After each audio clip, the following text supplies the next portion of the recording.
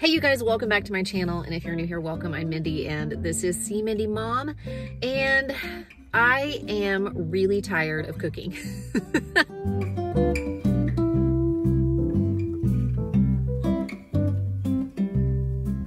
It is actually before Christmas. I think this video will probably not go up until after Christmas. Um, I'm sitting at work. I'm sorry, I'm not in my kitchen. It's been super busy and I got, a, I got to work for a meeting just a few minutes early. So I thought I would go ahead and shoot this intro for this video in my car, which I do occasionally because my car is sometimes a quiet place where I am actually alone and that does not always happen in my kitchen. But anywho, I am just really tired of cooking and meal prepping. And I think it's a combination of things that have brought me to this point. Number one, we're in a pandemic. We're not going out as much. We're not um, hosting as many like potlucks. We're not going to as many activities. We're not even going through the drive through as much as we would normally do. It's Christmas time and normally, like I said, we would have parties, we would have events, we would be going to potlucks, we would be coming to things at church where there are meals provided and we just aren't doing that as much. So I am cooking more. My kids have been home more, so I'm preparing meals outside of just dinner for them. Also because of my channel and because of the videos that I want to make, I think I've been doing a lot more meal prep and just meals in general. And I'm just tired of it. I've just hit a wall with it. I just decided this week I'm going to try to make some dinners because we still have to eat but make some meals that require very little, if any, prep work. Now, these are not all like dump and go meals or dump and bake meals. In fact, my oven is still broken, and I think that's one of the things that has me like, because there's several things that I would make. There's some, you know, convenience foods I could use. I mean, I can't even make a frozen pizza right now because I do not have an oven. They were supposed to come and fix it last week. They didn't have the right part. They were supposed to come back this week. I haven't heard from them. It's a mess. So I was just like, what are some easy meals that legit require less than five minutes of actual work. And that is what I am preparing this week. I feel like it's kind of like that show, Semi Homemade. Does, does, does anybody remember that show that was on the Food Network? And it's where she used like a combination of regular, plain, simple, maybe even from scratch ingredients, and then some convenience ingredients. And she would make like meals and cakes and snacks and treats and stuff that way. That's kind of what I'm thinking about for this week. Just stuff that's really easy, that it comes together really quickly, that I can just throw some veggies veggies with and like, okay, dinner done. And I thought this might be a very helpful video for the week after Christmas because let's face it, a lot of us, especially if we're the host family or if we're helping prepare Christmas meals, I, I, I'm just like, done by then, right? After Christmas Day, after kind of the flagship Christmas dinner, those few days afterwards, I know we have leftovers and stuff to use up, but they only go so far. And a lot of us still have family that we have to feed. Maybe you have kids that are home from college. Maybe you have relatives that are visiting, or you've just got your own kids home on, on Christmas break, even if they're little. I mean, we still have meals that we have to prepare, but I'm just like tired of cooking at that point. So I think I have three meals that I can share with you um, that I have planned for this week. And, you know, I'll show you what we're having and hopefully that gives you some inspiration and um, gives you some ideas if you are like me and are tired preparing food. The first dish that I am making is just a really simple pasta dish, and these are the ingredients here. You guys know how much I love this turkey smoked sausage. I use it all the time in various and sundry recipes.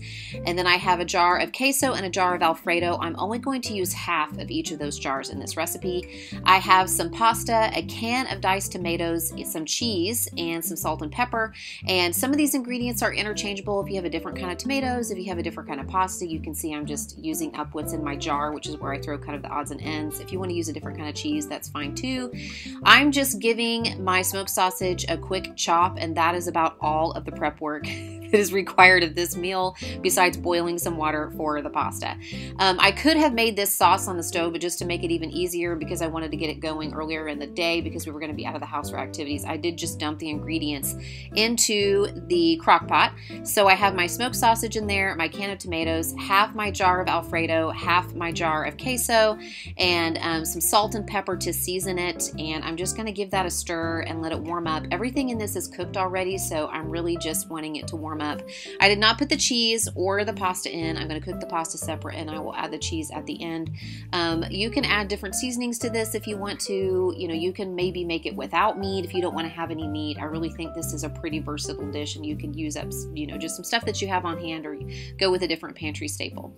So while that's in the crock pot, um, later on I have my water boiling and I am just um, cooking my pasta to al dente and I'm gonna drain that and then I just dumped it into the crock pot along with the sauce that had been simmering with the smoked sausage and all of the ingredients from that.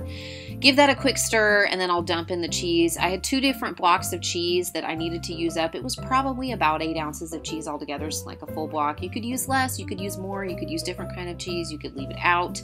Um, like I said, this was just stuff that I had and it made a really easy, quick meal. And um, if you don't use steam in the bag veggies or you don't have like a quick go-to veggie option, you need one. This is ours. We like the broccoli florets and I just pop those in the microwave. And I forgot to get a picture of this all plated up, but here we are at the table and you could kind of see a little bit of my plate there with this really easy dinner.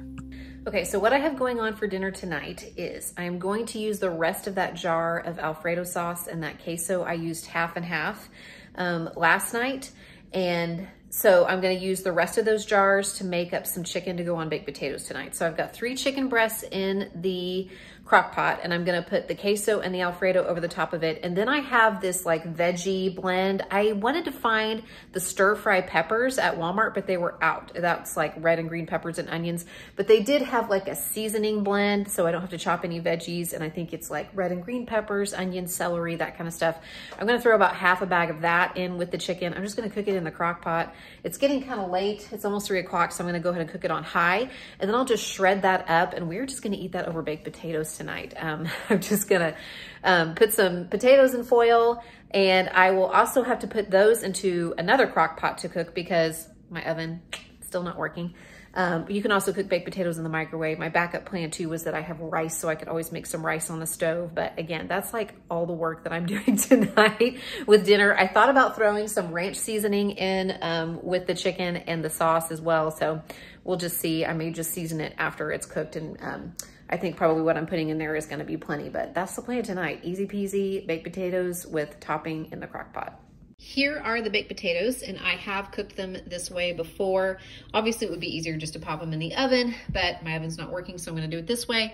And um, I have them in my shallow crock pot here, my casserole crock pot, but I've done this in a regular crock pot as well. So I've just washed my potatoes, wrapped them in foil, and I'm going to uh, just pop plop the lid on and I'm going to do these on high because as I said, I'm getting a late start. They should be done in about uh, two and a half to three hours whenever we are ready to eat. I've done corn on the cob this way as well. I've wrapped up corn on the cob in um, like foil and cooked it this way in the crock pot also. But you can do baked potatoes in there. Okay, here is dinner tonight. I have my baked potato with a little bit of the chicken mixture. You can't really see it there because I put just a little sprinkling of shredded cheese there and then some more steam in the bag veggies, broccoli with the sprinkling of Parmesan. Okay, night number three of I don't want to cook and trying to make something that takes me like less than five minutes of actual work and I'm going to make some chicken and cheese sandwiches. Now, don't come at me for this meal. um, I will explain to you what's going on with this. So when I was in junior high, we had three choices for lunch. We could bring our lunch, we could eat in the cafeteria, or we could eat in what they called the student store. And the student store was basically like a concession stand. I mean, they had like chips and candy and nachos and stuff. It was, it was during the days when they could actually sell that stuff at school. But one of the most popular items was a chicken and Swiss sandwich. And it was basically just a bun and a chicken patty and some Swiss cheese and you stuck it in the microwave and served it warm. I don't know why they were so popular, but they were so popular that they usually ran out. And if you had second lunch instead of first lunch, you sometimes didn't get a chicken and sandwich because they'd be out of them. So that was kind of my inspiration for this. I was like, man, that sounds really good. Because if I try to cook the sandwiches all together in the oven, the chicken patties won't be done before the bread burns. So I'm gonna go ahead and just toss those in the air fryer um, until they're I don't, like I said, I'm gonna check them after eight or 10 minutes and see how they are. And then I'm going to place them on some buns. I found these buns in the clearance bread section at Walmart, 42 cents for two of them. I wanted some that were like a little sturdier than just a traditional hamburger bun because I was afraid those would just fall apart. So I'll just um, slice these in half. They may already be sliced too. Put them on a sheet, top it with a little chicken patty after they come out of the air fryer, a piece of cheese, put it under my broiler because my oven is fixed. Hallelujah. Um, put it under broiler for a couple minutes and then I am just gonna like put a little bit of like ranch on them, I think maybe, and call it a day. To go along with that, I don't even feel like cooking any vegetables, so I just have some baby carrots and cucumbers that I have in the fridge that I'm gonna serve with some ranch dressing And I do though have something that was an impulse buy that I think I'm gonna throw in the air fryer after I make the chicken patties. I saw these in the freezer section the Arby's curly fries, I've never tried these before. I love Arby's curly fries. I hardly ever get them. I get the roast beef sandwiches, but I feel like when I go out to eat now or I eat fast food, I'll get like the sandwiches or the entrees. I don't get the fries a lot anymore. But I wondered if these would be good in the air fryer. Like, so I thought I'd just make up a few of those to go along with the sandwiches as well. Again, all of this is probably not even going to amount to five minutes of work. um, and we're to have dinner and then we're to be off to swim because we have that tonight too. So, okay, here it is. And I went a slightly different direction with this sandwich. I forgot to mention that I am using provolone instead of Swiss because my kids do not care for Swiss cheese. And then I remembered as I was assembling the sandwiches that I actually have a little bit of pizza sauce in the refrigerator. So I put a little bit of that on one of the buns along with the cheese and the chicken patty. So it's kind of like a chicken parm sandwich. So I'm really excited about that. The only thing is that I left the sandwiches in the oven just a tad too long. So they're kind of crispy. They're not burnt. It's just the bread is a little crispier than I like it to be. Then I have the fries and the veggies here on the side. And that's it. That is it for dinner tonight. So came together fast and I'm very pleased with it.